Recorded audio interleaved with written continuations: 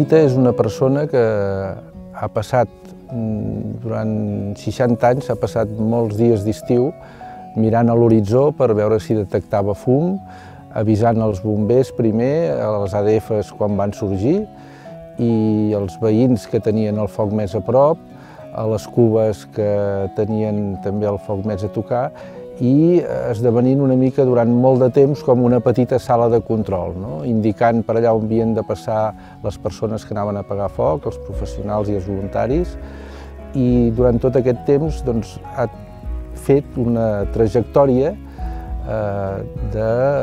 molt activa durant tots aquests anys.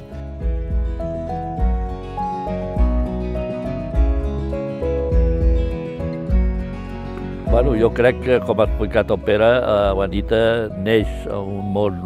rural, l'Anita ha viscut tota la vida a Biosca, Biosca ha sigut una finca important a la serra de Castelltallat, eh, l'Anita ha tingut un company de fatigues com ha sigut el seu marit, el Josep de Castella,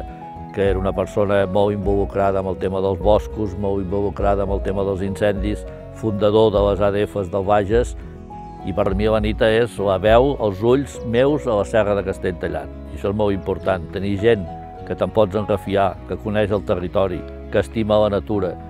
que saps que està al peu del canó, que agafa l'emissora, que et dona informació del que està passant, ens permet mobilitzar més la gent i ens permet actuar d'una forma més ràpida.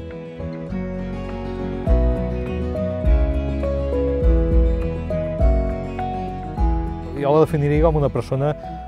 persistent i tenaç. No deixa estar les coses perquè sí, i, i quan això eh, és en una situació de foc,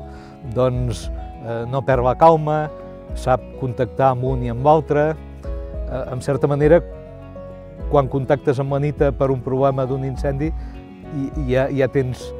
ja tens un primer punt de tranquil·litat perquè saps que la cosa es començarà a Ella sol dir això, diu, eh, això es porta a la sang i segurament els que la coneixem li podríem afegir que a més de portar-se d'aquell o porti la sang, això s'encomana. I s'encomana i a casa tots eh, tenim una perdigonada d'això. Quan hi ha una columna de foc sempre és la primera de donar-se en compte perquè, perquè hi pateix, perquè, perquè hi dedica estona, perquè, perquè,